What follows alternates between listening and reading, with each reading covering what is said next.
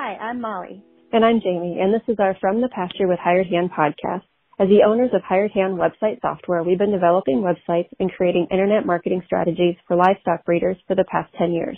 The majority of our customers are involved in the breeding of registered animals, such as Texas Longhorns, Highland cattle, horses, and whitetail deer, where the pedigrees are very important. The From the Pasture with Hired Hand podcast examines many of the differences in raising pedigreed livestock for maximum profit. Join us and learn what we're covering today. Joining us today for another one of our special segments about the McComb sales sponsors are Rex and Sherese Glendenning. Hi, guys, and thank you for joining us. Hello. Good morning.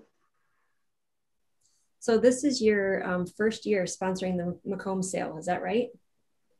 Uh, yes, it is. Huh?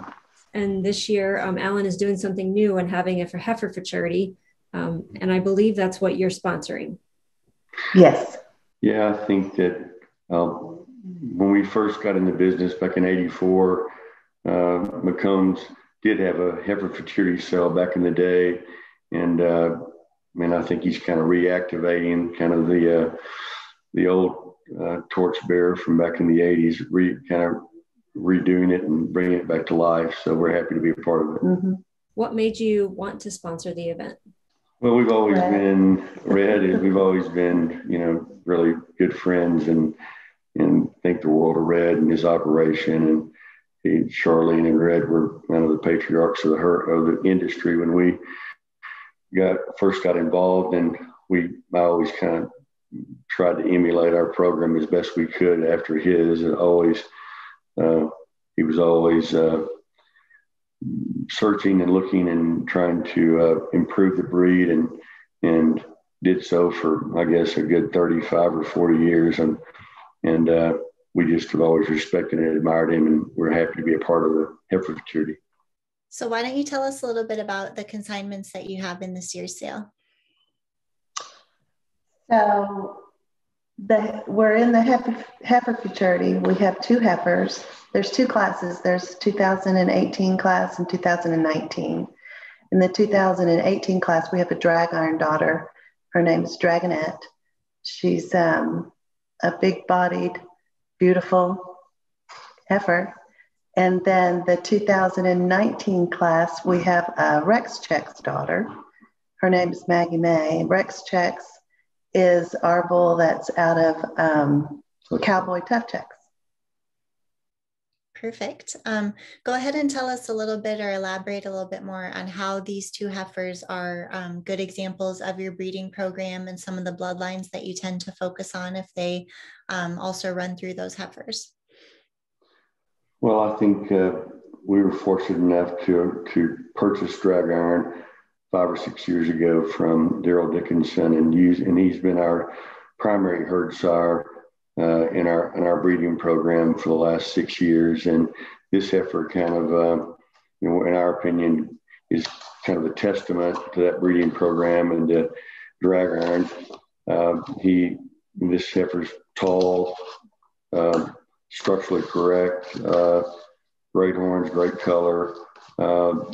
Uh, we we feel like this heifer is kind of representative of the type of heifer that he's producing for us and the type of replacement cows, heifers, replacement heifers, and replacement cows that we're trying to kind of bring this new bloodline of drag iron and Rex checks into to complement our old staple of our herd herd and our bloodline that we've had for years, which is kind of emblematic of G-Man and heavy hitter, and uh, which we were fortunate enough to raise the longest horn bull in the world for 10 years and thought it was kind of easy getting lucky uh, from 90, I don't know, seven or excuse me, about 87 to about 97 or 98. And then we were then fortunate enough to catch the wave and get heavy hitter. It was the longest horn bull for another 10 years from about 97, 98 to about 2011.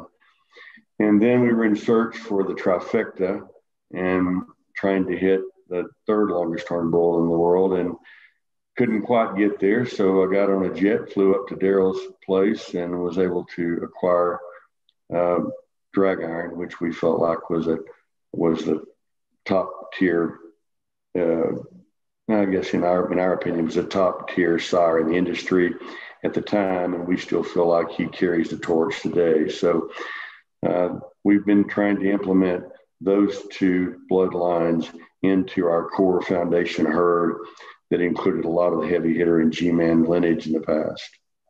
And I do want to mention that Maggie May goes back to Possum Eyes.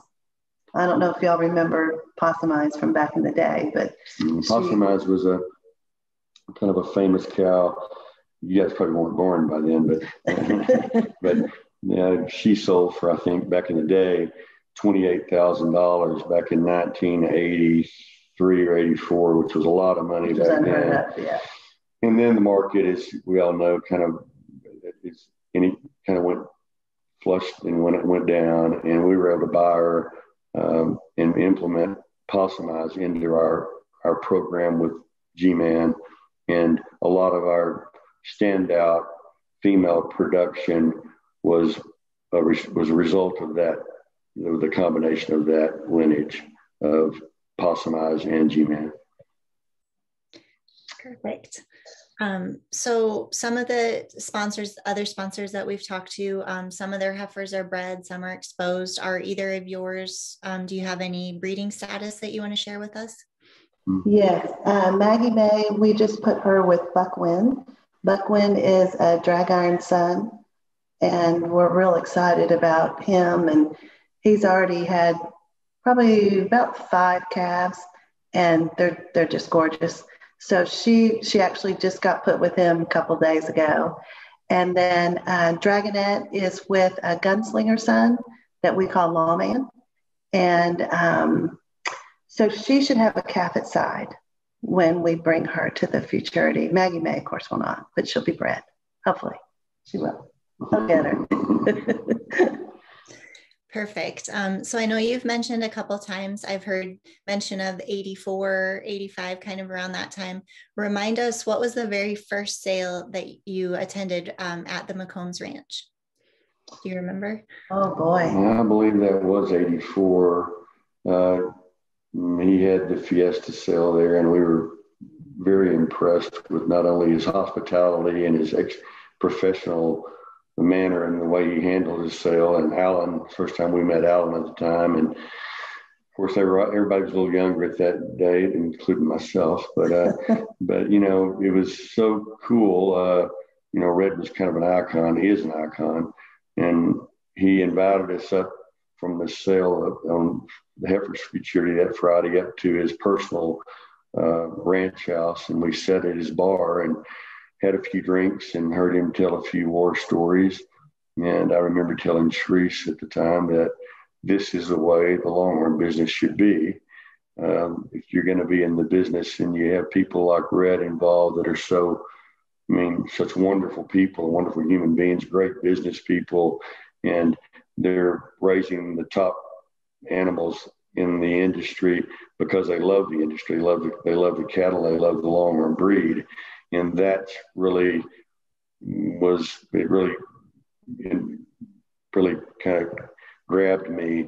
And i always thought that uh, red's program and the way he ran his operation and the way he looked at the industry was uh, was a path i wanted to try and follow as best i could.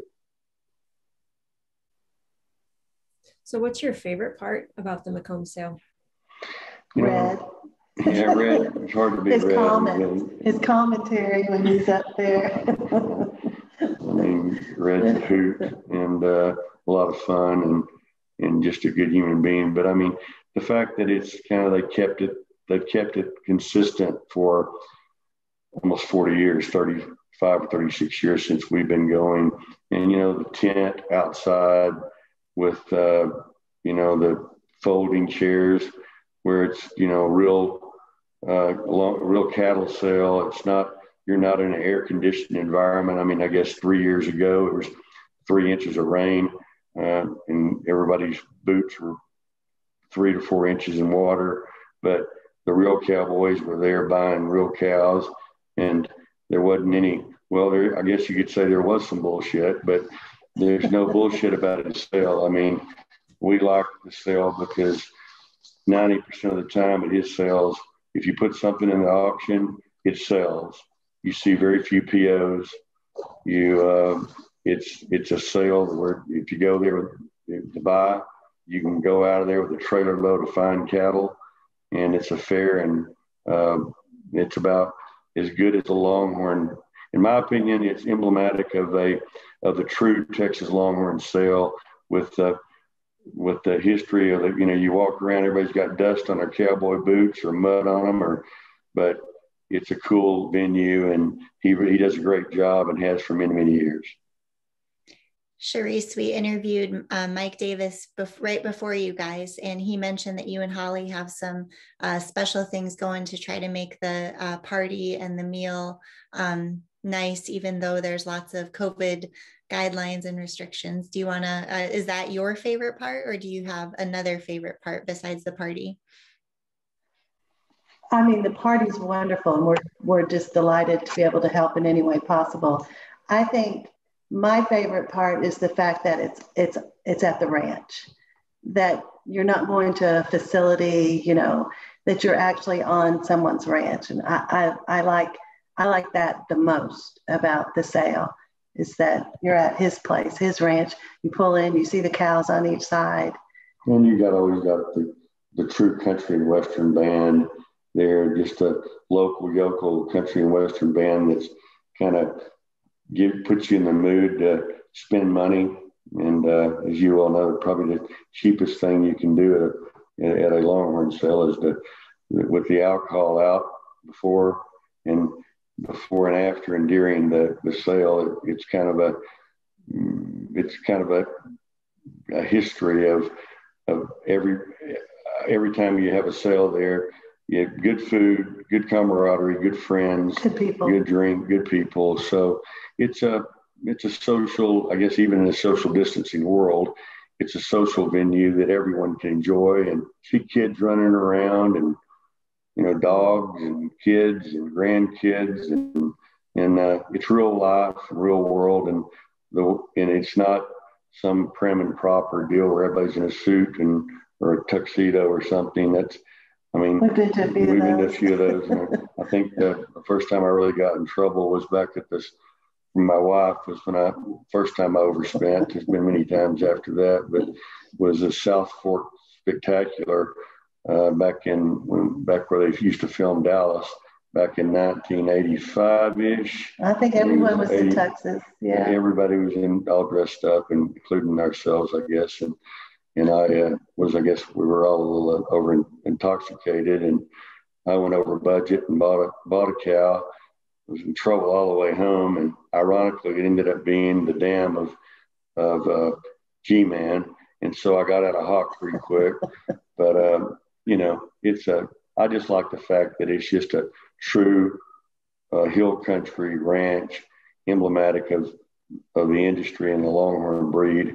And uh, so we, I don't know if that's just a little too much, but yeah, that's, that's, that's Do you have any advice for first time attendees to the sale? Have fun. Yeah, fun. I think that it's always nice to, you know, walk through uh, a real Longhorn Ranch and look at the cattle, be it Thursday night or Friday night. And then when the sale begins on Saturday, everybody's had an opportunity to really see the cattle and and and see a real Texas Longhorn Ranch and see how the real world uh, takes place. And uh, but it's I think like Sheree said, have a good time. Uh, buy some Longhorns. Buy some Longhorns and um, become addicted like we have been for 35 or 36 years. So that's good advice. well, thanks for taking a few minutes out of your day to join us and talk about the McComb sale. Mm-hmm. I have I have one other thing I just need to say. We do have three cows that we are selling on Saturday in the sale.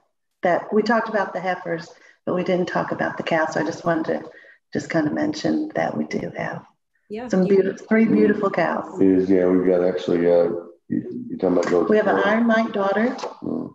We have an Iron Mike daughter. Iron Mike was we we purchased Iron Mike from Red back about hmm, six or seven years ago, and he was obviously getting older.